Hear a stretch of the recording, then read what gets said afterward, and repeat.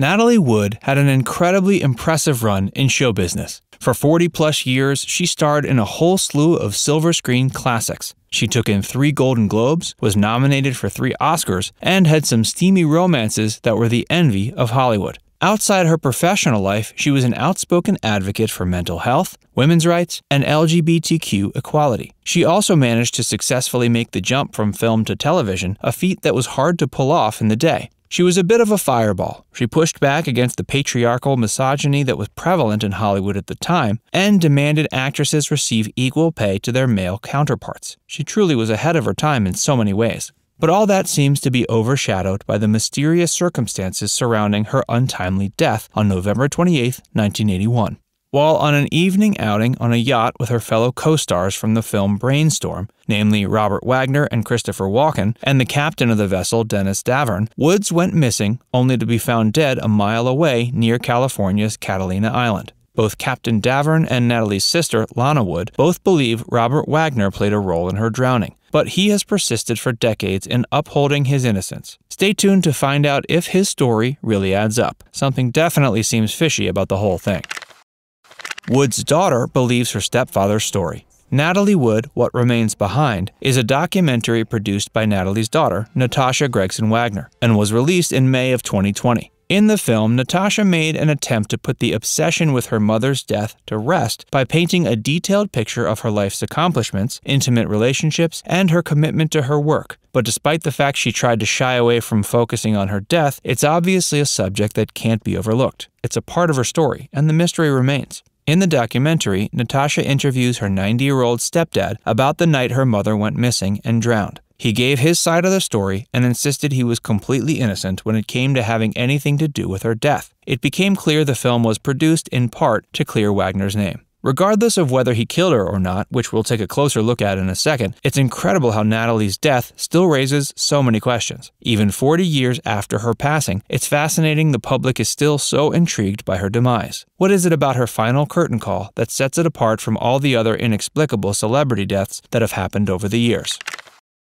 There's nothing like a real world mystery. Just look at Elvis Presley, Princess Diana, Michael Jackson, and Kurt Cobain and see how the questions that their deaths have raised have resonated with fans for years after they took their final breaths. But even those deaths can hardly be called mysterious. Sure, they leave us with some gaps in our knowledge that leaves plenty of room for conspiracy theories and such, but for the most part, we know how, why, and when they died. Natalie's death, on the other hand, leaves us with a lot more to speculate about. The circumstances surrounding her life are troubling indeed, and the basics of how and why she died are still called into question. What we do know is that she drowned, but we don't still understand how she entered the water in the first place. Did she slip and fall in? Was she shoved? Did someone intentionally drown her? Her autopsy revealed she had bruises and abrasions all over her body, and it's never been determined where those marks came from or who might have inflicted them on her. Was there some kind of struggle? When so many questions are left open, it's in our nature to try and fill in the gaps with speculation, wild guesses, and accusatory supposition. We love to point the finger. Over time, new info has come to light that has shifted the way we look at our death. We can't simply assume we know for a matter of fact what happened, especially when you consider what happened in 2011. Captain Davern's new testimony. The captain of the Splendor, Dennis Davern, made a shocking claim in 2011 on The Today Show. He revealed that on the evening of Wood's disappearance, he heard Robert Wagner and Natalie arguing. He also revealed he initially lied to the police in his first report. During that interview, he also made the assertion he thinks Wagner was directly responsible for Wood's death. Additionally, a woman by the name of Marilyn Wayne also came forward and testified that she, her son, and her partner at the time were on another boat that evening, roughly 120 feet away from the Splendor. They were sound asleep when they were jolted awake by the sound of a woman crying for help. They tried to spot the woman themselves, but they couldn't see anything. They also tried to contact the harbor patrol, but with no luck. Wayne further asserts she heard a man's voice, who sounded aggravated, say, Hold on, we're coming to get you. According to Wayne, after about 15 minutes, the cries for help went quiet. The couple then returned to bed, exceptionally distressed by what they had just heard. Wayne claims investigators never questioned her about what she and her boyfriend had witnessed, and that several days after the incident, she received a message on a ripped piece of paper that essentially said if she valued her life, she should keep quiet. Granted, it's odd Miss Wayne waited so long to come forward with what she knows. The plot thickens and the police amend the case. In 2018, after several new witnesses came forward with new information in the case, the LA coroner's office officially amended the cause of Natalie's death. While initially it was deemed an accidental drowning, they now consider it to be drowning with other undetermined factors. The police now view her death to be suspicious, and Robert Wagner is now considered a person of interest. Although it should be noted he hasn't been called a suspect as of yet. More unanswered questions. When taking a look back at Natalie's life, peculiar and unusual coincidences raise more eyebrows about the mystery surrounding her death. According to The New Yorker, Miss Wood's mother once visited a psychic who told her her daughter would die in, quote, dark water. If that's not a spooky detail that sounds like something straight out of a mystery novel, we don't know what is. Wood had always been afraid of water. She told the New York Times she was absolutely terrified of what she called dark water and seawater. Another weird coincidence happened on the set of the 1964 film Sex and the Single Girl, where Wood had a scene where she had to save Tony Curtis from drowning. There's some old footage which shows her stepping into the water assisted by trained divers. Although it wasn't captured on camera, apparently when she came up for air, she was freaking out and could hardly be consoled.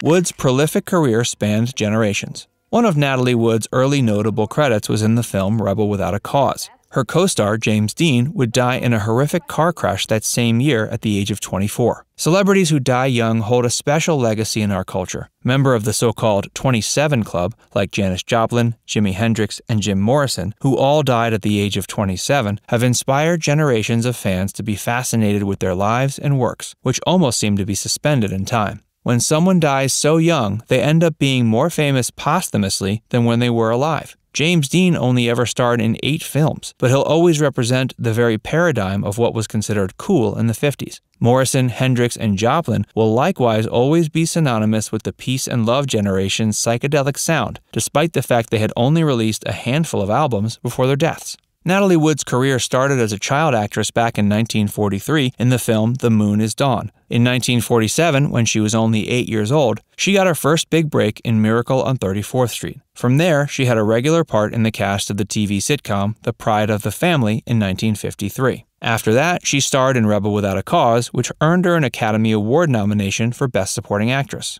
In 1961, she starred in the classic musical West Side Story, and also that year, she earned herself an Oscar nod for Splendor in the Grass. She'd get another nomination in 1963 for Love with the Proper Stranger. She'd make her adult return to TV in 1979 in the miniseries From Here to Eternity. Her last film before she died was the 1983 sci fi thriller Brainstorm. Of course, that's not an exhaustive list. In total, she had 74 credits to her name. Fans got to see Natalie at various life stages during her four decade long career. As such, she was able to reach multiple generations of audiences.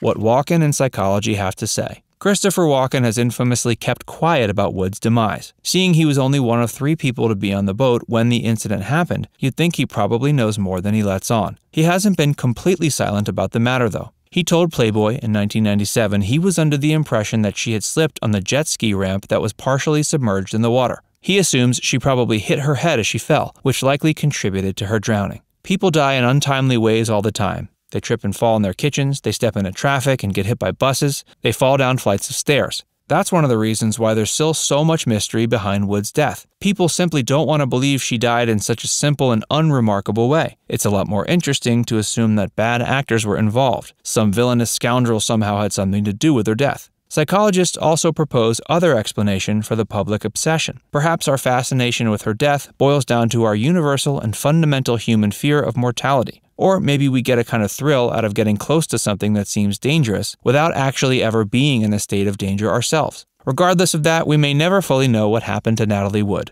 But what do you think? Do you think she was murdered by Robert Wagner, or do you think she simply slipped and fell into the water? Let us know what your theories are down in the comments section. And before you go, don't forget to like this video and subscribe to our channel. Tap the bell icon to turn on notifications so you can catch all of our latest videos.